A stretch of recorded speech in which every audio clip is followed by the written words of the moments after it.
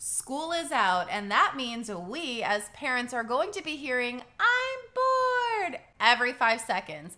I have 10 hacks for you using only a dollar 25.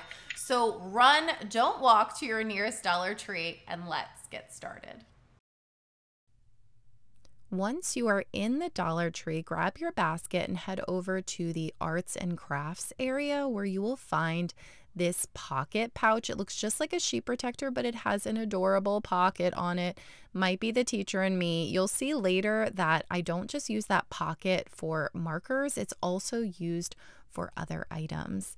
The first hack is to play I Spy with your kids. If you're going on a road trip, you can draw the items you're going to see, or you can have your child draw the items because clearly I am not good at this.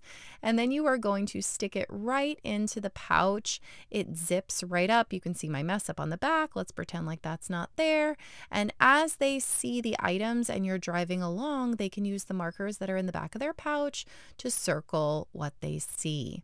An alternative for this would be to find particular colors while you're driving. If you have some time before your road trip, your kids can draw the colors. They can use watercolors, they can use paint. I like using cardstock because it's much thicker. And then, same as before, as they see anything that that's that color, they can circle it.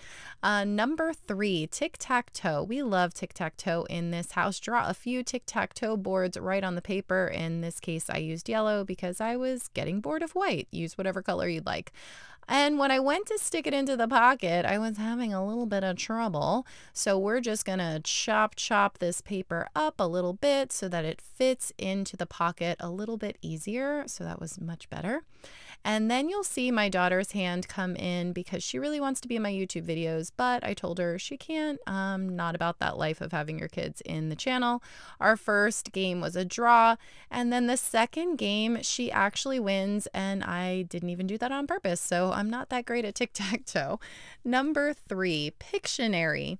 We love Pictionary in my house. And in this case, you'll notice I'm not using the pocket pouch. I'm just using a sheet protector. So if you don't have, uh, if you can't find that pocket pouch and you have sheet protectors, it works the same. You can even just get a regular old marker board, which they also have at the Dollar Tree to use. And I like this little sheet protector or any of these plastic items because they are great for anything sticky. It doesn't stay. So if you're traveling with slime or Play Doh, and if you really don't want it to move, you can roll up some tape on the back so that it doesn't shift around. Uh, and then I got a little crazy with it and I started having too much fun. okay, next, games. Any kind of card game, you can use it as a scoreboard. You can keep the cards, Uno, whatever, inside the pouch. My son is really into pretend play, so I drew a setting of a volcano, and then in the back pouch, you put whatever item they're going to use for the pretend play. So he can play with his little toys in the car and have a setting to go with it. All right, I don't know what number we're on, but we are on word of the day. If you are a parent who is trying not to have your child forget everything they learned during the school year, go on and oh, I'm cutting it again because it doesn't fit.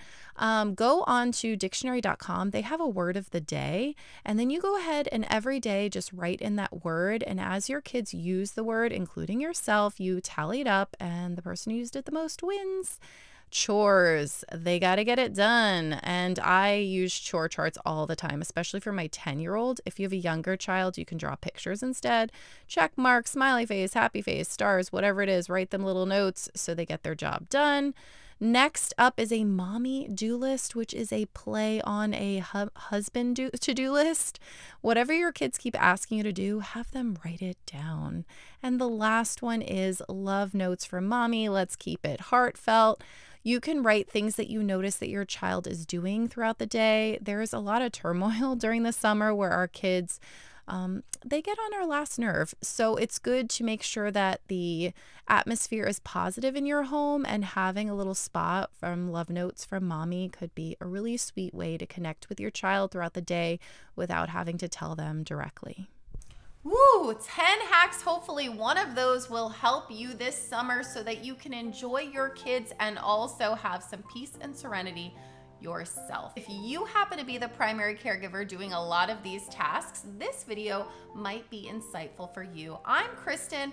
This is Mommy Breakdown where I break it down so you don't have a breakdown every single week. Please like and subscribe and I'll see you next time.